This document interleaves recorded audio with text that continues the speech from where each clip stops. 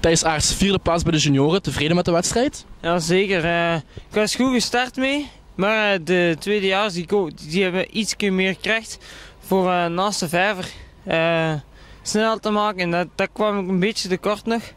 Maar toch wel heel content als eerste jaar als tweede, dus dat is toch goed. Had je op voorhand getekend voor deze plaats? Ja, zeker.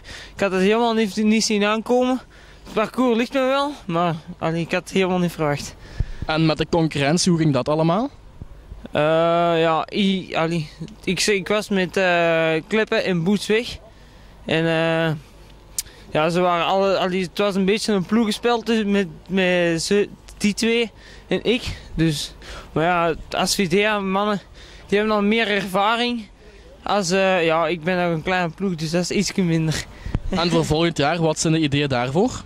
Ja, dat zullen we wel zien. Dat is een volgend jaar, dus het kan nog veel gebeuren in de zomer. Oké, okay, dankjewel nog eens proficiat. Dankjewel.